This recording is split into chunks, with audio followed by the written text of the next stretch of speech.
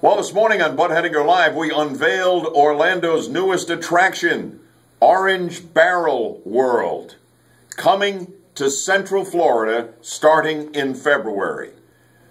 Orange Barrel World.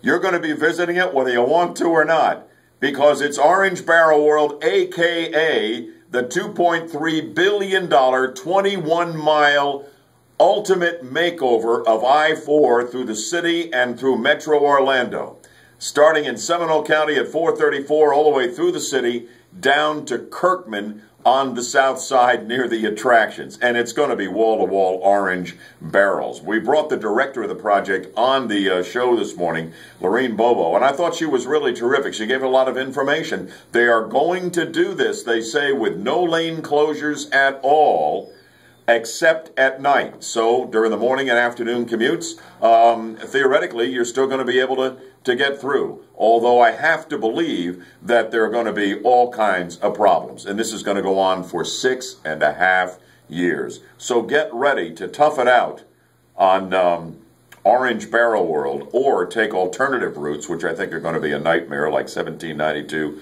or 441. Or it might be that the great beneficiary of the I-4 makeover is Sunrail, because that may drive more people onto the train than anything else possibly could.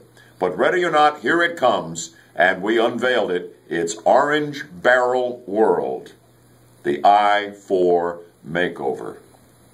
Be very interesting to see what the next six and a half years hold. Of course, we'll be following it closely and giving you all the latest info. So join me for the next edition of Bud Hedinger Live on News Radio 1025, and I'll look for you then.